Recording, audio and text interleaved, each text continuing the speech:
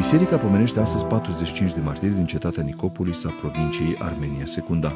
În jurul anului 319, împăratul roman Liciniu emite un decret împotriva creștinilor.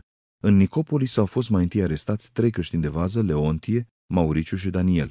Acestora s-au alăturat în scurt timp alți 40 de creștini.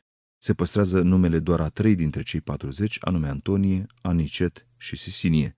Au fost duși toți înainte judecătorului pentru a fi interogați. Cel din tâi era Leontie, care pe întreg parcursul pătimirilor nu doar că va lua cuvântul în numele lor, dar îi va și încuraja și întări, iar în momentele de taine va conduce rugăciunea.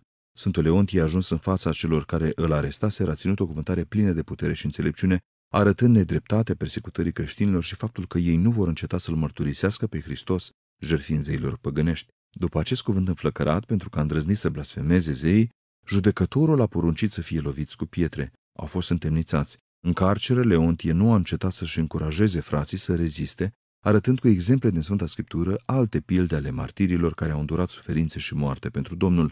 Singura lor mângâiere din acea seară a fost reușita unei femei vlavioase de a le aduce în ascuns apă să-și potolească setea.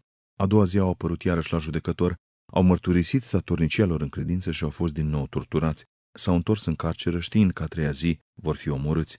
S-au rugat fierbinte Domnului și au stăruit în cântări și în cuvinte duhovnicești. Puterea dumnezească a rugăciunilor a făcut ca cei doi paznici păgâni ai lor să înțeleagă frumusețea și adevărul creștinismului. Acolo în praf și sânge s-au botezat în numele Sfintei Trăimi. Numele gardienilor erau Meneas și Belerades, fiind de origine egipteană. A doua zi, sentința judecătorului a fost crudă, le-au fost amputate membrele și au fost aruncați în foc. Resturile sfintelor lor trupuri au fost aruncate în râul Licus.